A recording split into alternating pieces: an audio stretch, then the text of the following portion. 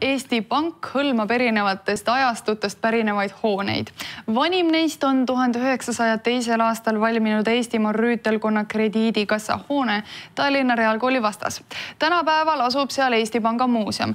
Heerot kutsubki teid nüüd sellesse suursugusesse ja ajaloolisesse pangamajja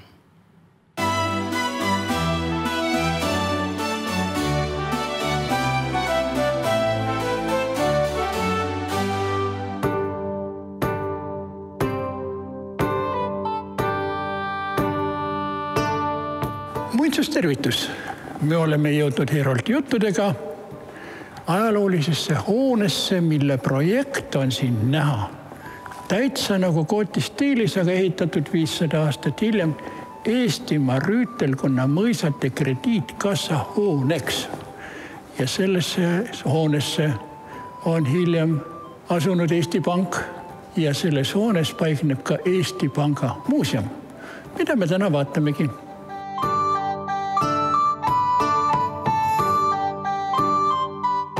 kõigil meist on mõningane huvi raha kui niisuguse vastu, aga kellel on sügavam huvi, siis peaks noolima niisuguse raamatu. sest tertsist sendini, kui te tahate raha natuuris näha, siis ikkagi kõige õigem koht on selleks aktsiisikamber Suurgildis ehk ajaloomuuseumis, aga Eesti Panga muuseum on sellest natuke erinev. Nemad on tahtnud meile siia ühelt poolt edasi anda niisuguse panga miljööd ja selle muutumist ajaloos. Ja teisest küljest siis ka atraktiivsemalt esitada mõningaid rahaga seotud asjaolusid. Ja rahad ise ei olegi nii nähtavad.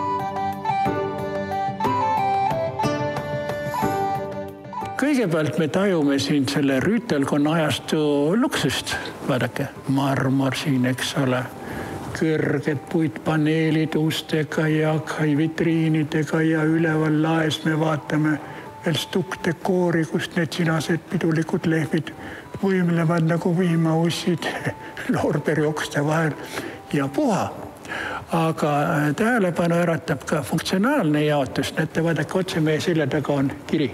Kantselei, kantselei, paremal arhiiv, vasakul sekretär ja siin vasakul järgmise ruumi ukse kohal on vorst büroo metsanduse büroo.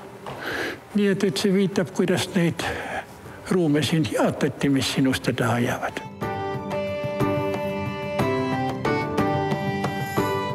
moodsad disainerid on näitikustanud uue Eesti aja kroone sellisel kombel, et on välja pandud rahatäht, viiesaja kroonine, olge lahked ja siin on ühe habemiku mehe portree ja siin on tema vahakuju, kuigi tema habe ei ole nii tume nagu rahatähel ja samas kõrval on Lydia Koidula ja Eesti sajakroonine.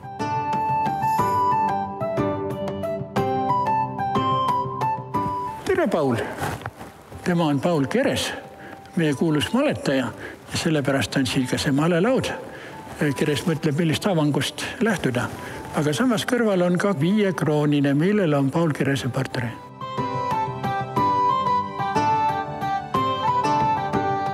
paljud meist kurvastavad selle üle, et me kaotasime oma rahvusliku valuuta ja liitusime Eurotsooni euroga, kuid muidugi asjaajamist see lihtsustab. ja samal ajal natukene eestlust lahutab see, et on nii-öelda Eesti euromündid omavad pöördel Eesti kontuure ja samuti antakse välja ka veel selliseid meene eurosid üsna arvukalt ja minu meelest üks ilusamaid nende hulgas on Hansalinn Tallinnale pühendatud hõbemünt. et iga aja rahadel on oma esteetiline võlu.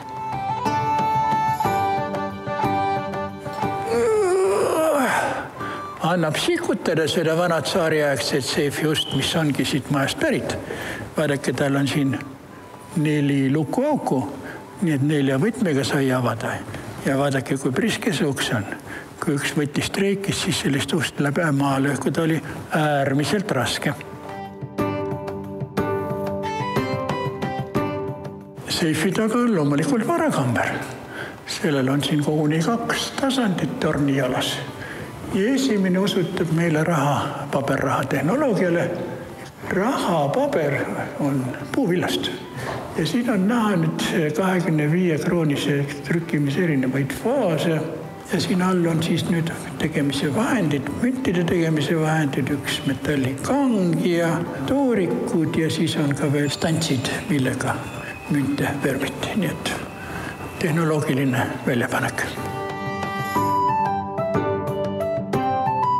rüütelkonna endise pangamaja torni keldris on selline ruum, kus me näeme kaks raudluuki. arvatavasti voolas siit sisse ka viisteist miljonit Vene kuldrubla Eesti ja Vene Föderatsiooni rahulepingu alusel aastal tuhat üheksasada kakskümmend.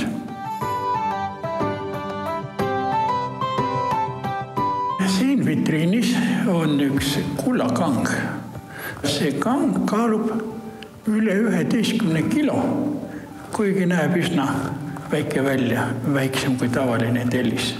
aga kullal on suur erikaal ja ma ütlen teile saladuskatte all, et see maksab üle neljasaja tuhande euro.